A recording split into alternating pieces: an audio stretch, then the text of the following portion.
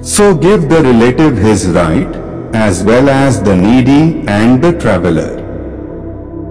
That is best for those who desire the countenance of Allah, and it is they who will be the successful.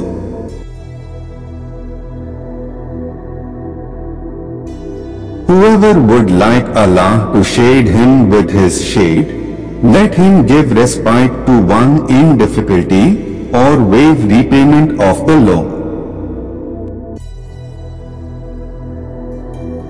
You gain no victory or livelihood except through the blessings and invocations of the poor amongst you.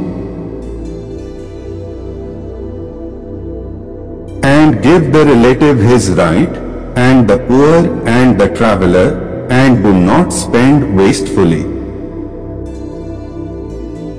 The one who looks after a widow or a poor person is like a 1. Mujahid who fights for Allah's cause or 2. Like him who performs prayers all the night and 3. Fasts all the day.